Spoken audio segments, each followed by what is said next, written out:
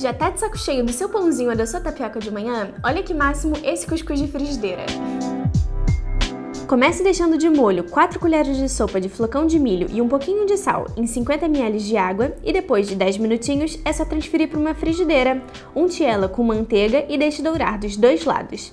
Coloque o recheio de sua preferência, eu usei queijo. E tá pronto!